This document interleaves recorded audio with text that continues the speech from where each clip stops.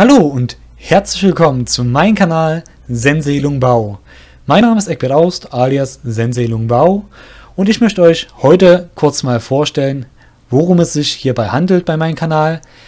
Der hat ursprünglich mal als Wissenschaftskanal mit Vater des Wissens angefangen, beziehungsweise als er ganz angefangen hat, da war es noch nicht Vater des Wissens, da dient es nur quasi der Nachhilfe, damit ich nicht zu den Leuten dauernd nach Hause musste, weil das auch zeitlich für mich sehr schwer war, aber ihnen trotzdem was beibringen wollte. Das war der Sinn des Kanals. Und ja, er umfasst alles, was mich eigentlich hier interessiert in diesem Bereich. Das ist halt Natur im Sinne Biologie, aber auch Chemie und auch die anderen Sachen werden dazu kommen. Wer sich meinen Kanal umschauen wird, wird sehen, hier ist auch Biodiversität ein großes Thema. Anfänglich ein bisschen trocken, weil sich es halt durch die Taxonomie ein bisschen hinzieht. Aber ich werde wahrscheinlich auch irgendwann die Bereiche Astrophysik und so weiter vordringen. Doch der Naturbereich ist nicht alles. Das, was mich auch rein beruflich interessiert und wie es auch angefangen hat, sind die Rechtsthemen durch die Tätigkeit und Umschulung zum Steuerfachangestellten. Hier findet man die entsprechenden Videos dazu und jährlich mache ich auch mindestens ein Update, wo ich dann die neuesten Regelungen zum Bereich Steuerrecht, Wirtschaft und Buchführung darstelle, damit man auch up-to-date bleibt. Ja, später hinzugekommen ist der zweite Bereich, das Gaming, das Let's Play. Und ja, das ist wohl eins der bekanntesten Themen, brauche ich nicht, denke ich, groß erklären. Ich spiele und ihr könnt euch daran erfreuen, wie ich mich meisterhaft durch die Level schlage oder was leider eher wahrscheinlich ist, ich ängstlich durch die Gänge irre um das mal sehr salopp zu sagen.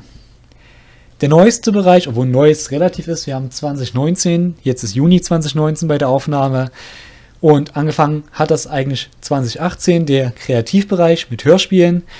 Eventuell kommen noch ein paar andere Sachen dazu, deswegen habe ich und ähnliches, weil aufgrund von Krankheit und auch ein paar privaten Sachen haben zwei von meinen aktuellen drei anderen Sprechern neben mir, die ich habe, ähm, es nicht geschafft, jetzt in der Zeit teilzunehmen. Da muss man natürlich auch Prioritäten setzen, sowas darf passieren. Weswegen jetzt auch schon länger kein Update mehr war. Und so wie die Sache aussieht, wird es dann ab August, spätestens allerdings ab September weitergehen mit das Tor der Illusion, was aktuell ja läuft. Und das werden wir dann natürlich auch fertigstellen. Allerdings nicht wie ursprünglich eigentlich von mir kalkuliert im Frühling 2020. Das verschiebt sich jetzt. Es wird wahrscheinlich Sommer oder Herbst 2020 werden. Danach fangen wir aber auch gleich an mit dem zweiten, die Essenz des Lebens. Da habe ich auch schon engagierte Sprecher gefunden. Leute, bei denen ich wirklich das Gefühl hatte oder das Gefühl habe auch natürlich, dass sie echt Spaß daran haben, die das schon gemacht haben und richtig gut sind. Oder aber Leute, die sich gerne üben wollen, aber von denen ich denke, dass sie wirklich das Potenzial haben und ihnen auch gern die Möglichkeit geben möchte, hieran teilzunehmen. Schon mal vielen lieben Dank an diejenigen. Es ist echt toll, dass ihr euch dazu aufgerafft habt, das zu machen.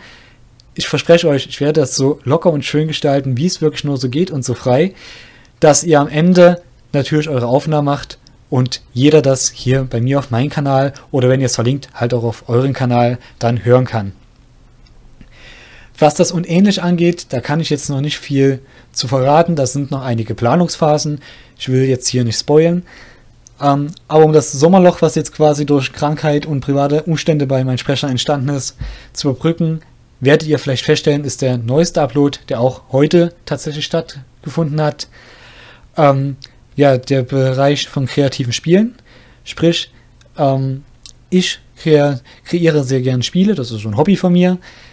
Werde das auch höchstwahrscheinlich mal digital machen. Da habe ich schon seit mehreren hundert Stunden die Arbeit an einem Rollenspiel. Das werde ich dann auch öffentlich machen, wenn es möglich ist. Mal schauen, wie das wird. Dann aktuell ist mein Zeitplan eng.